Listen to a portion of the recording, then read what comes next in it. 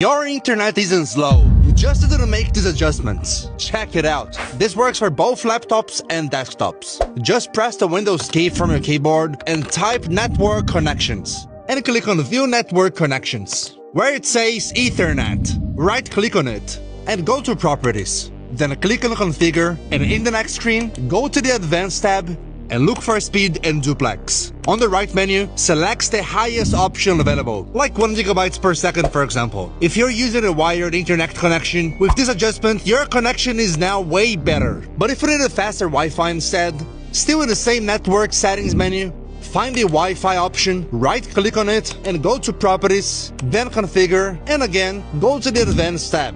Now look for the option roaming aggressiveness. Change it from medium to the highest. Just save it and done. If you've been having connection issues because your computer is far from the router, these adjustments will make the reception much stronger and more aggressive.